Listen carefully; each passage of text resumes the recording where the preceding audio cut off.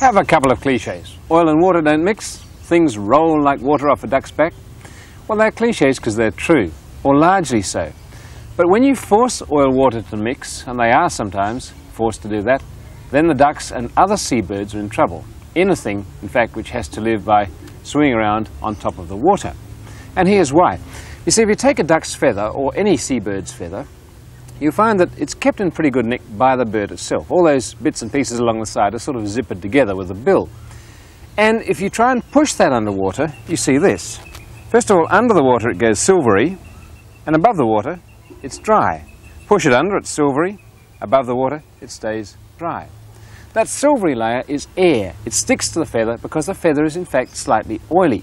Water doesn't mix with it, and so that keeps the feather dry. That means the bird can float around, staying waterproof, dry, very floaty sort of animal, and it's not in trouble. But sometimes oil gets onto the water.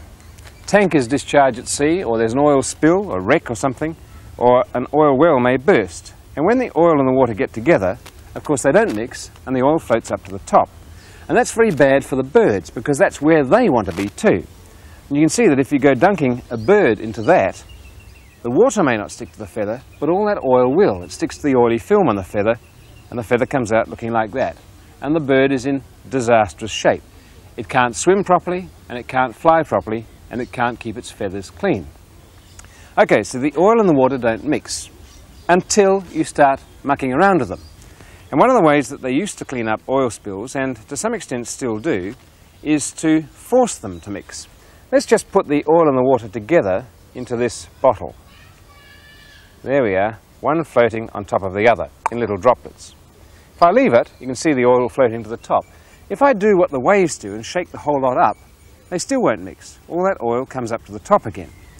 But if I add detergent there, the sort of stuff that you add to your washing up liquid to make the water mix with the oil on the plates, you get this effect. In goes the oil and the water and the detergent, and then if you shake it, you get a very different result. A few bubbles, but mainly a milky liquid down the bottom, which is oil, water and detergent all mixed up into a sort of ghastly soup.